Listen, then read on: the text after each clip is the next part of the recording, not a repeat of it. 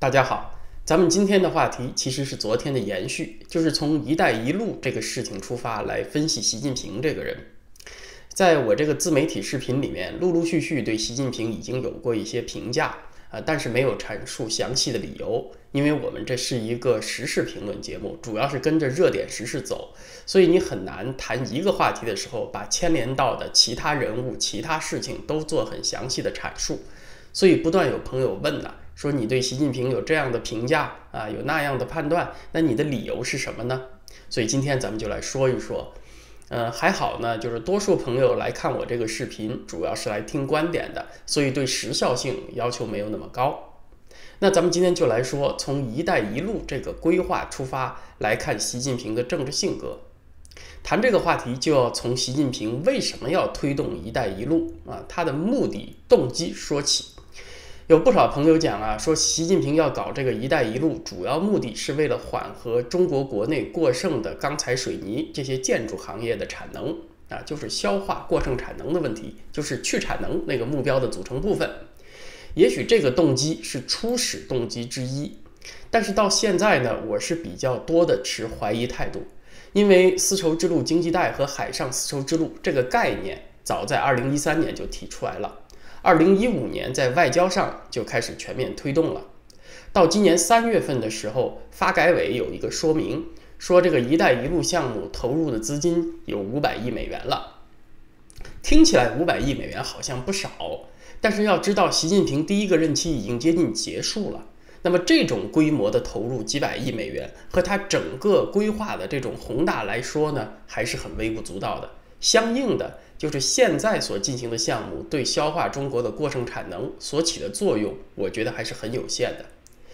也就是说，“一带一路”这个构想的推动步骤其实并不快，过程也说不上顺利。这些大型的基础设施建设项目呢，它需要跟沿线的国家一个一个去谈，若干重要项目也历经波折。像中国高铁在拉美的建设。从去年开始，基本上完全停下来了。啊，中资在美国西部想要建的那个西部快线，去年也黄了。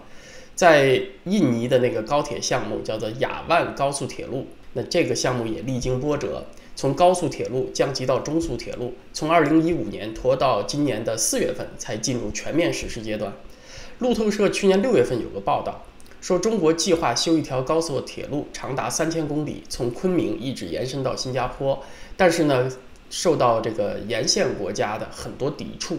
一个主要的阻力来源就是这些沿线国家不满意中国的融资条件，他不愿意给予中资企业这个铁路沿线土地的开发权。所以呢，这次高峰论坛就十五号刚刚结束的一带一路国际合作高峰论坛，虽然很热闹啊，粉红们热情也很高涨，但是这一个论坛未必能解决上面所提到的这些实际的问题。这个“一带一路”想要推进，它要克服的阻碍仍然是很多。说这些的意思是，“一带一路”喊了几年，基本上涵盖了习近平的第一个任期，但由于具体项目开展的阻碍很多，实际上它能够达到的消化中国基础设施建设过剩产能的这个目的，恐怕还是极其有限。解决产能过剩的问题，其实主要还是得通过中国国内的产业结构调整。关停部分这样企业的方式来实现。所谓“一带一路”，靠通过输出产能让外国来帮着消化，应该是远水解不了近火，这应该是现在的一个现实吧。再有朋友说，习近平推动“一带一路”的目的是想实现人民币的国际化啊，我没有仔细去看国内的报道，也许这些朋友主要是从国内的一些文章开来这个观点的。那我的第一个印象呢，那就是莫名其妙。啊，因为没有任何一种货币，国际化的货币它是不能自由兑换的，也没有任何一种国际化的货币，它的发行国家要限制资本流动的啊，你这个资本只准进不准出，所以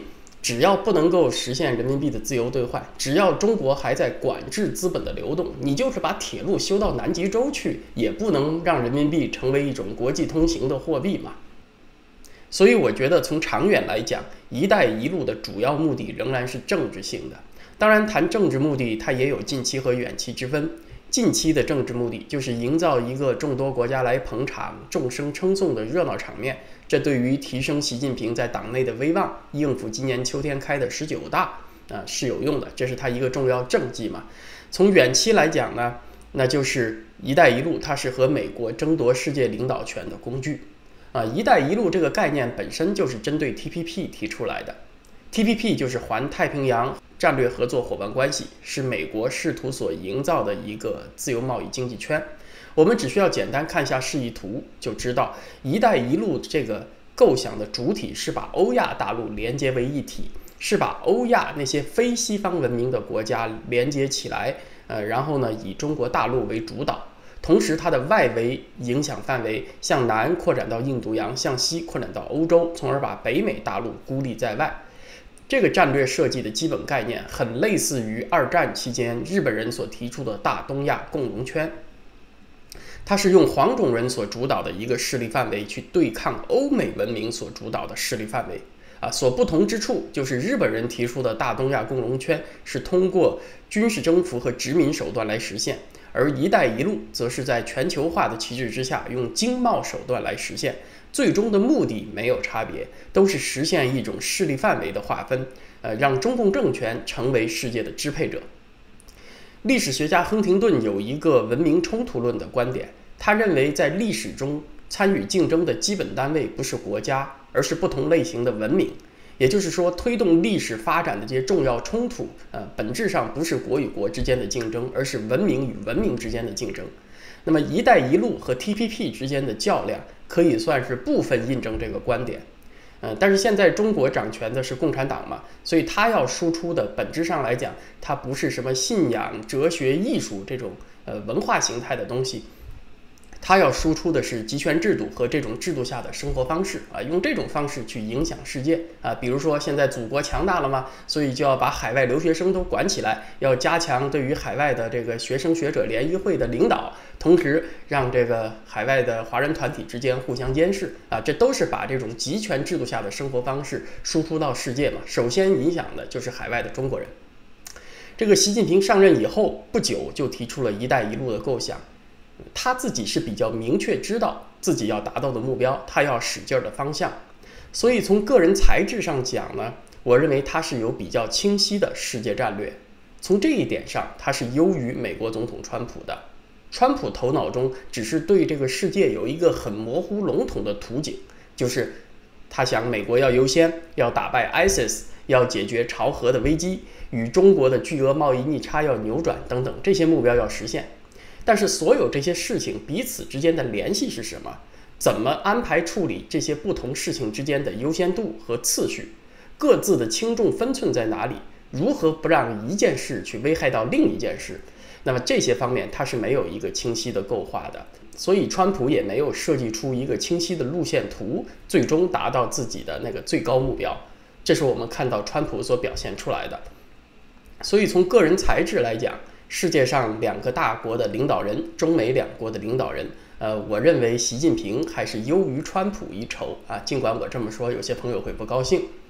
同时，习近平这个人在谋略、忍性、定力上也有过人之处，呃，我对此的印象也比较深刻。就是从中共的军改这件事情上可以看出来，就是军队体制改革，在习近平上任之初，在二零一三年就设立了国家安全委员会。但是委员会有了这个架子之后啊，它里面的非常重要的军方委员的名单却迟迟没有出来。呃，我当时就以此判断，习近平对军队高层的人事安排极不满意，必然会有调整。啊，我这不是马后炮吹牛啊，因为在一三年、一四年的电视评论节目里面我就这么说了。那么在国安委设立两年多、将近三年的时间里面，习近平通过军队高层的反腐。清理了郭伯雄、徐才厚这样一批对手，到了二零一五年底，开始全面启动军队体制改革，又逐渐把张海洋、刘源、刘亚洲这一批红二代的将领从军队领导层中清除了出去。那果然，从军改启动的前后，那么国家安全委员会里面的军方代表的名单就逐步充实进去了。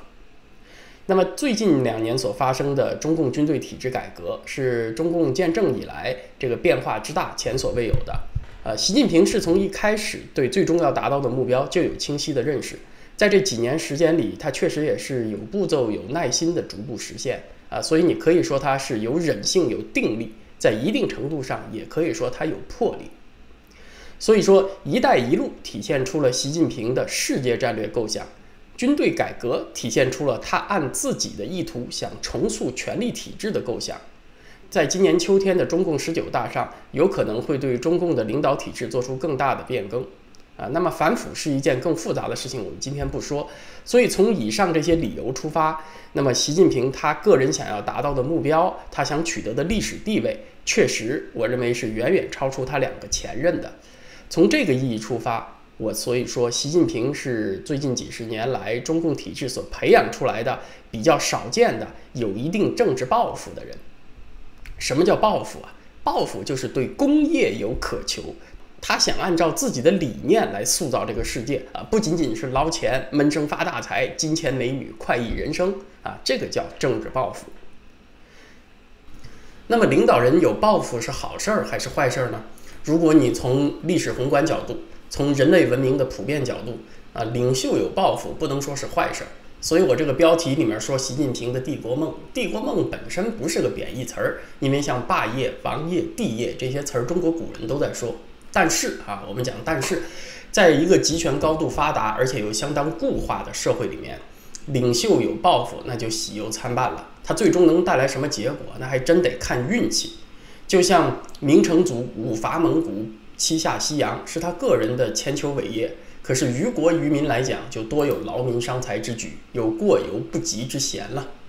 在共产党这种把集权推到登峰造极的社会，他在文化上又漠视生命。又抛弃了传统文化、人民爱物这种仁政理念，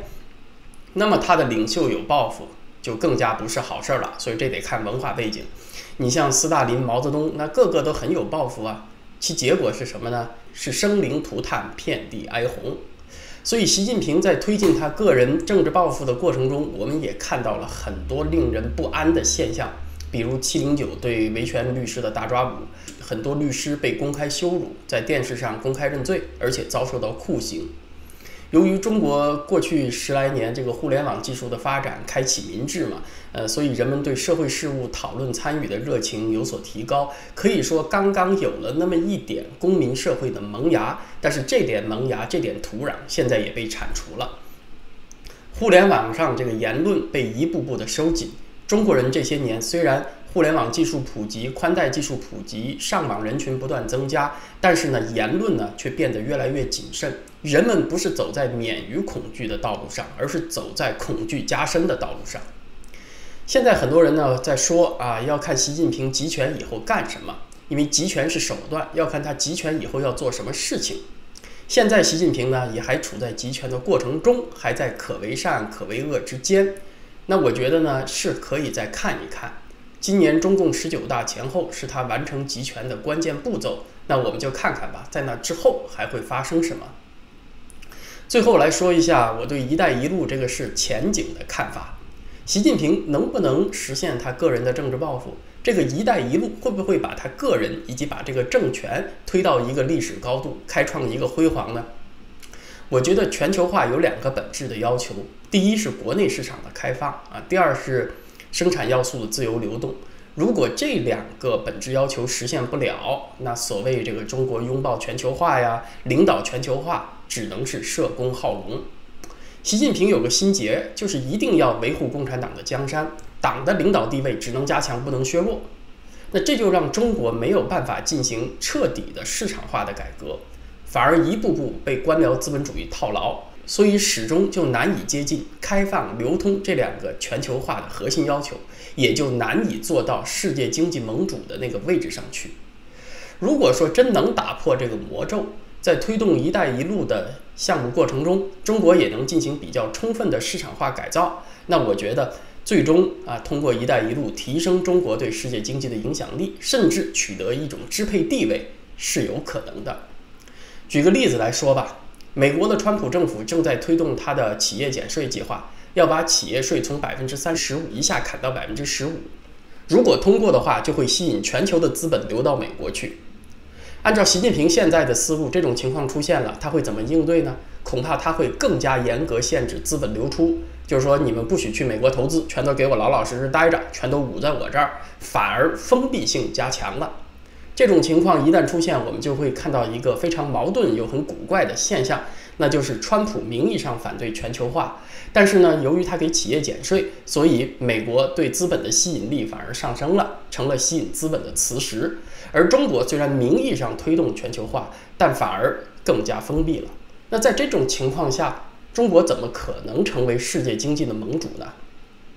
所以我觉得呀，中美之间的竞争本质上它不是个什么 TPP 还是一带一路这种国际经贸战略的竞争，本质上是各自国家内部经济活力的竞争。如果中国不进行政治和经济的配套改造，是很难激发这种活力的。那今天这个话题咱们就聊到这儿，谢谢大家。